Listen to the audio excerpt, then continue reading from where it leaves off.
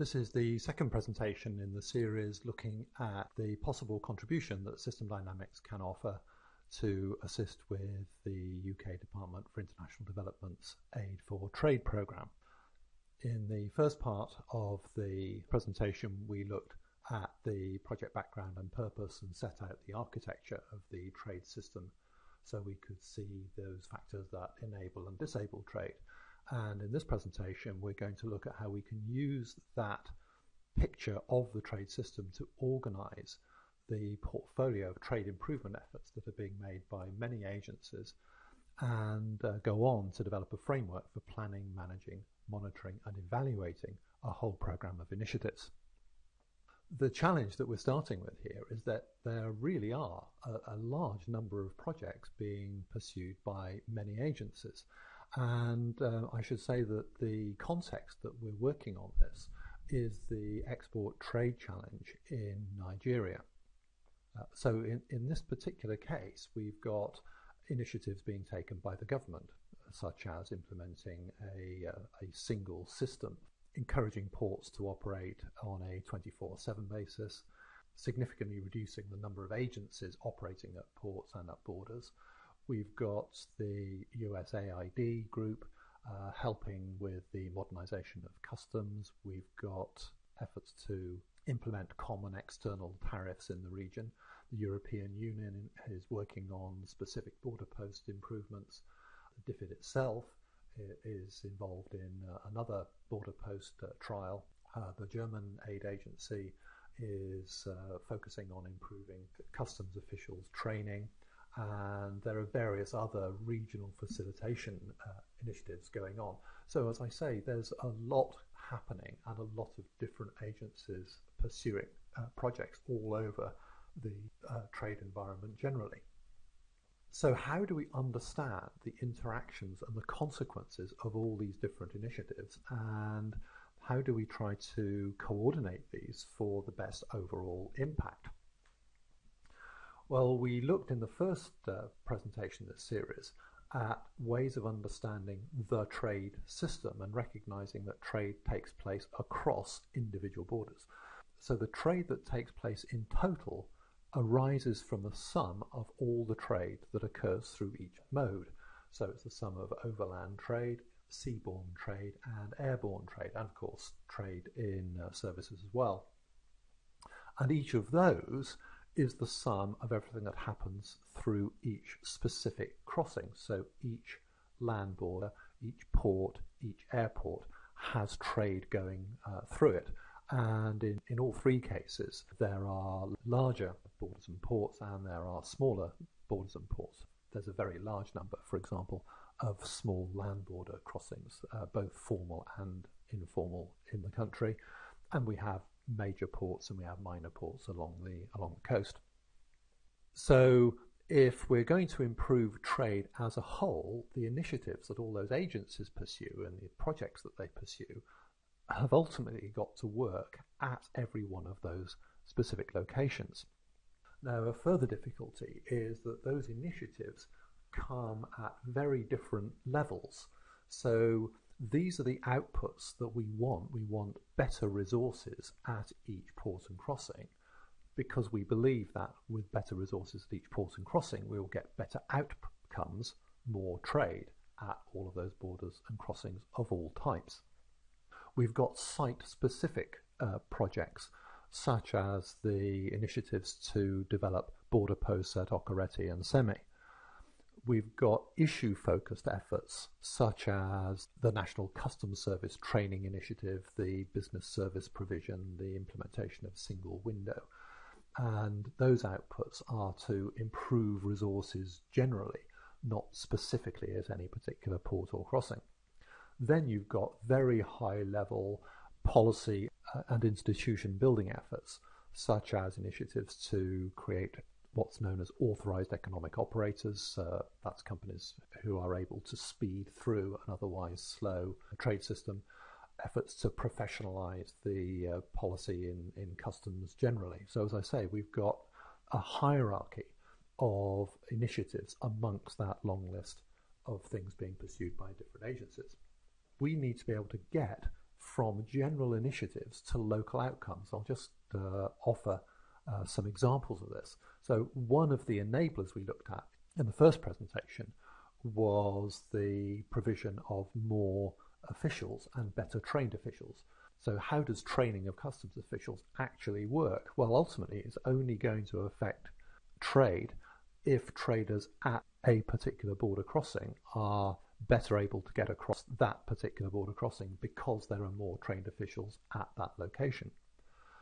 So, training for the customs service would give rise to more customs officers trained in general, and we would hope that they would be deployed at all of the borders and ports where their additional capacity is most needed, and that will um, enhance trade at each of those borders and ports. Efforts to professionalize the customs service would support that rather more focused intent of simply training customs officers and, and, giving rise to, to more customs officers. So we have a, a more professional approach to the management of the customs service generally.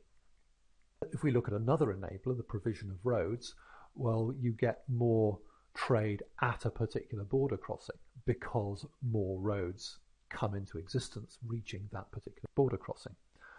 So, an initiative to build more roads gives you more and better roads, and that helps that particular border crossing, but only that crossing to which those roads actually go.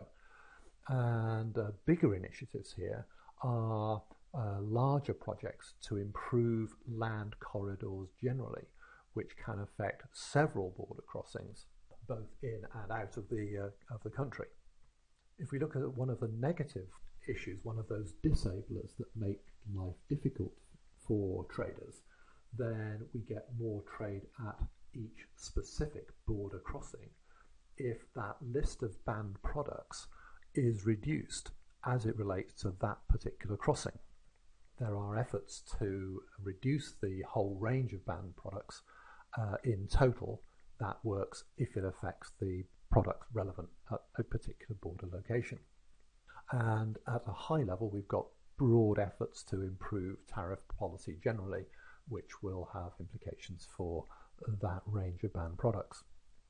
And we can work through a similar hierarchy of influence for every enabler and disabler to trade that we looked at in the first presentation. So let's get a little bit more specific and take some examples and see how we might map these various initiatives and projects onto this structure. If we list across the top of this uh, table all of the land borders, all of the ports, all of the airports, then an enabler which is focused on adding crossings and building new ports would have a very specific and focused large impact at very particular points.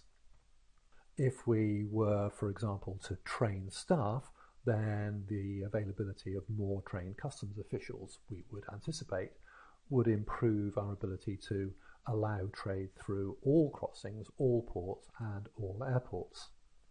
If we were to uh, put efforts into reducing the number of agencies, then the reduced number of agencies involved in policing trading activity would have differential impacts in different locations. So it might have a significant impact at uh, one or two of the land border crossings. It might have quite a large impact at two of the uh, ports in the country and a large impact at the airports. So what we find when we map the initiatives onto this structure is that we have some initiatives with a very broad impact, training and reduction in the number of documents, for example. We have some initiatives with very particular local impacts, so the adding of a particular crossing or a port, or the building of roads in a particular region, the cutting of checkpoints in some part of the country, or the reduction of the number of agencies at, at airports.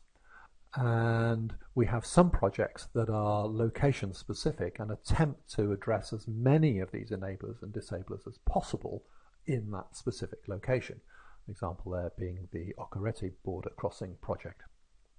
So what we can do is look at the entire list of projects and organize them according to whether they are enablers or disablers and whether they address issues of access, capacity, or profitability. Uh, this exhibit simply offers a start on that process. There is a whole range of additional items to consider efforts to improve rail infrastructure, uh, improve the reliability of power supplies, develop regional integration in the trade systems, create free trade zones. Uh, there's a whole issue about the cost and subsidy of uh, fuel that's used for transportation and so on. So there's a lot of other items that we've not covered in that allocation of improvements on the left hand side in that table. So, where we've got to is the basis for understanding some of the implications arising from the trade system structure we looked at in uh, part one of the uh, presentation and how that portfolio of initiatives maps onto that. And what that ought to allow us to do is clarify the hope for causal pathways in the system. So, what inputs are we making? What outputs are we trying to create? And what outcomes do we expect to arise from those inputs and outputs. That is only possible, though, if you have a view of the trade system as a whole. But if you have that, then you've got the basis for a shared understanding of the entire portfolio of trade improvement efforts. From that, we should be able to figure out what to do, when, how much, at what cost and effort, and anticipate the benefits that are likely to arise.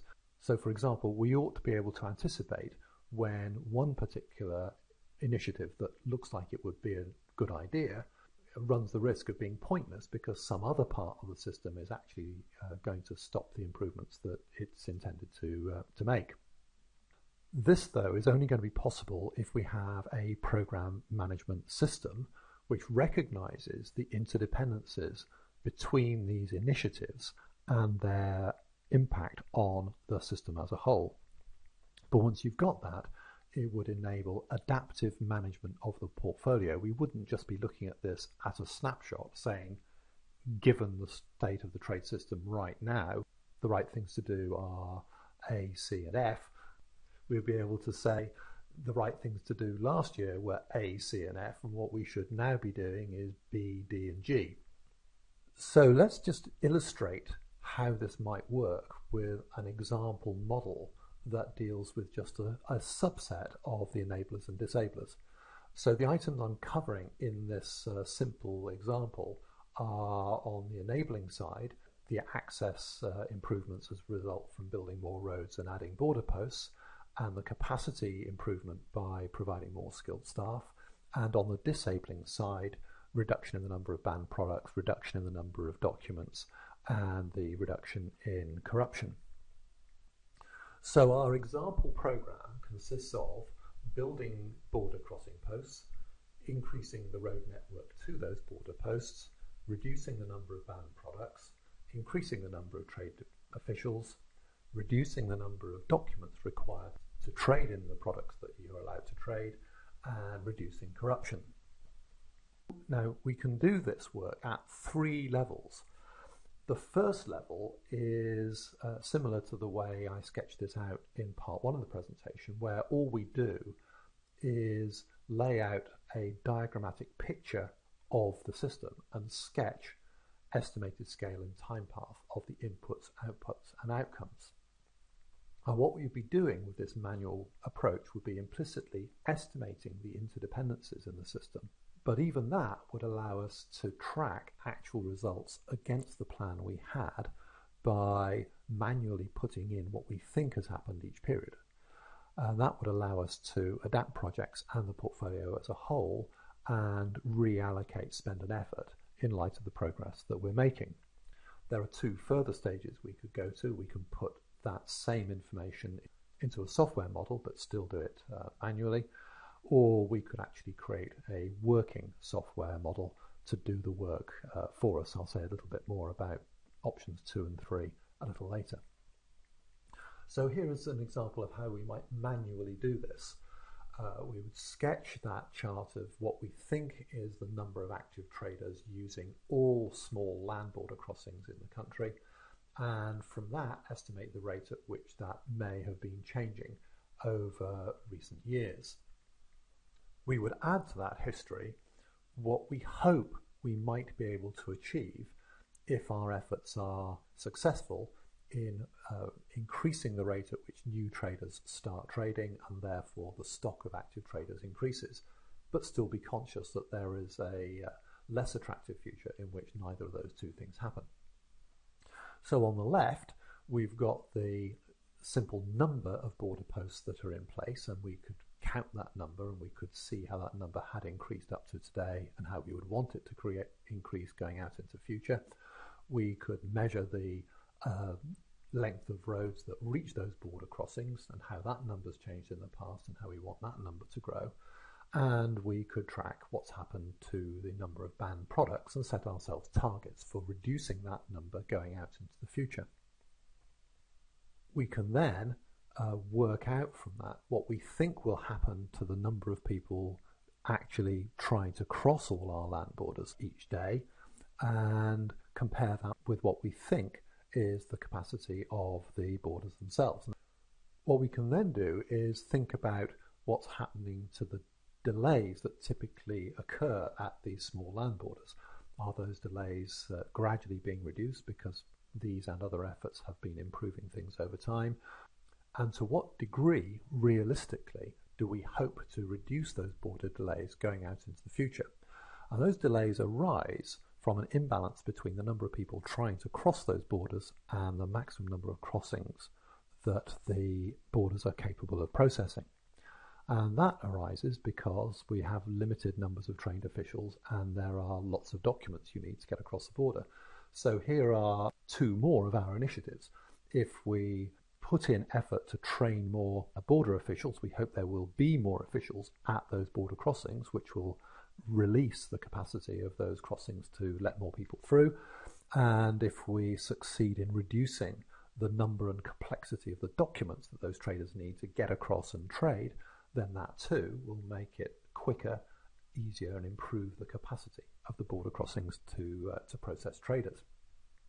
Lastly, we've got the profitability uh, issue and the initiative we're pursuing there is to uh, reduce corruption by better training and better remuneration systems for officials at border crossings. And if we're successful in uh, eliminating corrupt payments that are being made, then that will enhance profitability of trading and that will improve trading frequency. The result of all that is if we have more people trading more often with more stuff, that's what gives us the outcome we want, which is an increase in trading volume and trading value we can add other enablers and disablers to this structure and of course we, we can and should replicate it for other border types. Uh, we're simply looking here at what's going through the total of all small land borders. There are large highway borders, there are large ports, there are small ports, there are airports, but we could have a copy of the same structure that we're using for those other channels. And as I say, the, the first and simplest way to use this is to use it in an entirely manual way. Simply sketch these charts on a whiteboard by hand, estimate the numbers, and uh, estimate the rates at which things have changed and might change uh, going into the future. You can go on to a further stage, which is to put exactly the same information into a software model of the situation enter those numerical estimates for inputs, outputs, and outcomes.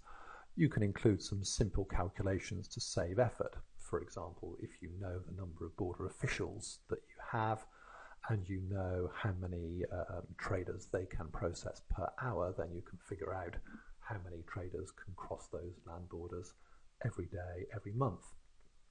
And then you can enter actual results that you get from sample surveys around those border crossings and from month to month, quarter to quarter, and compare those with the plan that you set out with. And of course, the results will never match what you intended exactly. There'll always be differences. You might make less progress than you expected, or if things go well, you might actually make faster progress. And in the light of that comparison between actual results and plan, you can adapt the projects and the whole portfolio and move around the spend and effort in light of the progress that you're making. So this is what such a manual model actually looks like. The software allows you to enter the data that populates these charts. And at the top left of this diagram, you've got the stock of small would-be traders, people who would like to trade but haven't got access to a border with products that they can sell. The red line here shows the base case where nothing much changes. The blue line shows what might happen if we were to make some of the improvements that we want. The stock in the middle is the number of small traders who have got border access but for whatever reason are not actually participating in trade at a particular point in time. So you can see that we've done something already to uh, make it possible for would-be traders actually to access the border. The third step, though, is traders with access who actually are trading. So some of those in the middle stock who have got access to borders have now decided to start trading and they're actually going across the borders with their carts or their trucks and selling their goods in the neighbouring country. So what we need to know is what are the things that we're doing, how much to move the system in this way. And a further benefit of this is that if all this works, we actually bring into existence new potential traders at the top left of this uh, diagram, that people would start trading if the opportunity was opened up for them. Now, the things we're doing to pump people through this system uh, are the things in our list of initiatives. We are increasing access to reach more potential traders through our construction of border posts, our construction of roads, and our reduction in the number of banned products. We're increasing capacity to allow traders to operate by providing more officials to let them through those borders and reducing the number of documents uh, required to do so. And we're increasing the profitability to make trading worthwhile through our efforts to reduce corruption. And as I say, you can sketch these numbers by hand, but now you can sketch them into the software model and actually enter data in that software model to compare actual outcomes with the likely outcomes you expected in the first place. Now here's how we map the uh, initiatives that we're pursuing. In the top uh, section of this diagram, we've got the number of small land border posts that actually exist. And if we add the new uh, border posts, we would expect the blue line to grow ahead of what would otherwise have happened, the red line.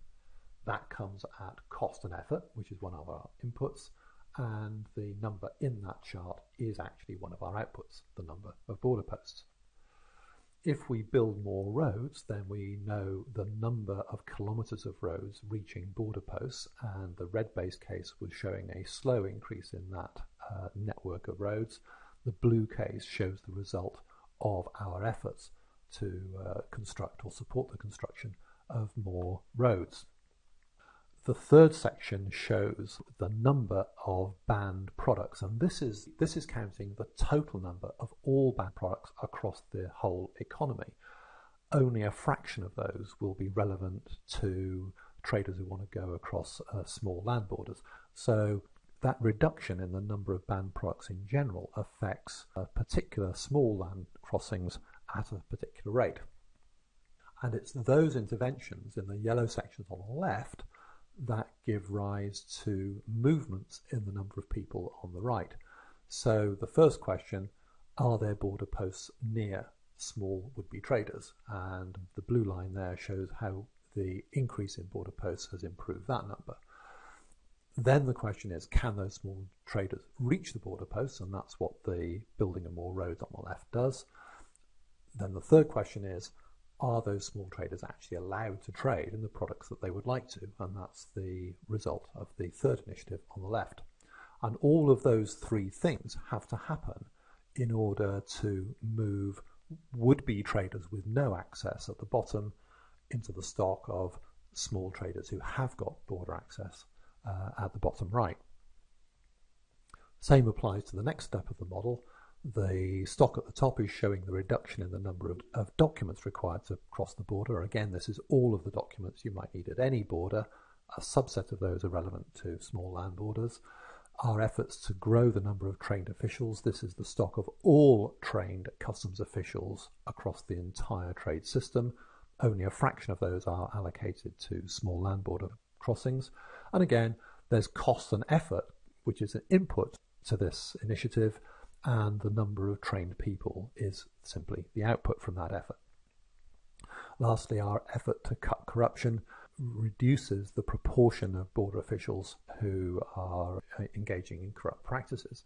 And all of those three things together answer some other questions.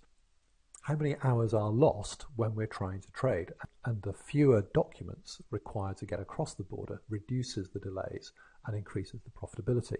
Reduction in corruption also improves uh, profitability. Then we have the issue of whether there's enough border capacity or not. That's determined by how many uh, documents you require and whether you've got enough officials. All of those things improve on the right hand side the average number of trips each trader makes each month and the total trips being made. And the number of traders and the number of trips being made are the intermediate outcomes we want. If those things all go well, the volume and value of export trade will rise.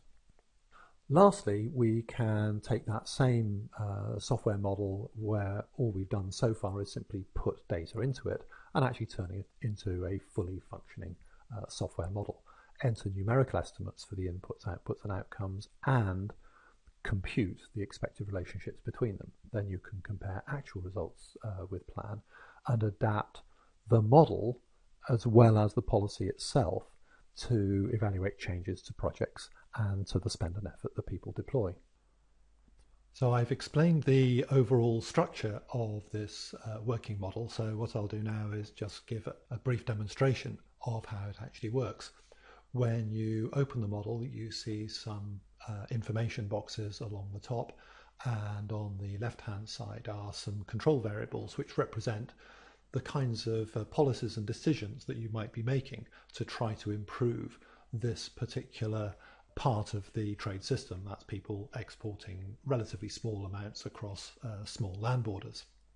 If we scroll down, you can see the sections that we've described in the presentation, the pieces about the border posts, the development of roads, the number of banned products, and what all that does to the access for small traders using those uh, border crossings. And further down, we've uh, shown the sections relating to the number of documents that those traders need to get across the borders the number of trained officials available, the extent of corruption, and what all those do to the capacity of borders specifically and to the profitability of trading. We've highlighted some areas in the uh, purple callouts that demonstrate the areas in which the model might need to be uh, extended or uh, adapted to deal with issues that we're simply not capturing in this particular version of the model. So the way to think about this is that the red timelines on all these charts are showing a kind of do nothing uh, situation where there is slow progress in adding more border posts and extending roads, reducing banned products, and all those other things. And that has relatively slow uh, impacts on making it possible for people to get to the border posts and actually uh, carry out trading. So um, this will actually run over 60 periods. So we're simulating a kind of five year horizon here. And uh, you simply hit the play button and, and the model will play out the way in which all of these variables change and interact with the policies that you've got set up by default over in the left hand side. Now we can decide to change some of these at any time. So we might, for example, decide to increase the frequency with which we open small border posts. So instead of opening a new border post every 12 months, we'll open one every three months. And if we play for a relatively short period of time, we'll see the number of border posts uh, start to climb really quite quickly. Now, each of those uh, border posts already has some very limited amount of road access, so we might want to increase the rate at which we uh, develop roads from two kilometres a month to 10 and we'll see if we play that forward a little longer then not only do the border posts start increasing but the road access grows quite a lot and that means that more traders can actually reach the uh, border posts as a result of our efforts. Let's make some further changes. So we will speed up the rate at which we're removing banned products from the uh, list of prohibited products for trading and we can also make some changes, uh, increase the capacity and profitability of the borders. So we'll uh, increase the number of border officials because if we're opening border posts more quickly, we'll need more officials to man those border posts. We can speed up how quickly we cut the number of documents required to trade, and we can uh, raise the rate at which we reduce uh, corruption. We play that through to the end, we'll see that there's been a small improvement in the uh, profitability of uh, people trying to trade across the border. They were making um, 2,800 naira per month per trip. Now that's over 3,000 naira. We made the improvements to profitability rather late in this five year period, but nevertheless, we've got some improvement in profitability. We've got an increase in the number of trips per month traders make at the very end of the period because of that better profitability, which means that the total number of trips being made each month has increased, not just because it's more profitable, but also because we've now got more traders actually being active and using those border crossings. So that's just an example of how a model of this kind could be used to uh, play out and test a range of different policies enacted to a different degree at a different rate and explore what impact that all has on the outcomes that we're trying to achieve, which is more people trading and trading more often and trading with more stuff. Um, now, anyone can access uh, this model simply by using the share link that we've provided, and all they need is a latest version browser. So, for example, Internet Explorer 9 rather than uh, version 8. If you register at sysdea.com for a free account, you can actually save this as a working model and make changes to the model itself. So in the first presentation, we explained the project background relating to Aid for Trade and laid out the principles of the architecture of the system that lies behind how trade actually works so that we could figure out the enablers and disablers to trade.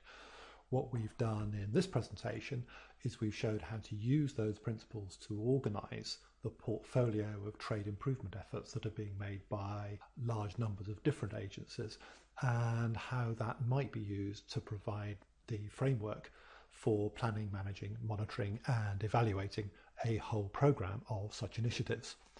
In subsequent presentations, we will explain something about how you can use the approach for detailed planning and control for a specific intervention, where we look at uh, the example of training customs officers and a demonstration of how you might plan and control interventions for a single specific trade border. And both of those come with working models. In the final presentation, we'll look at some of the issues that need to be tackled.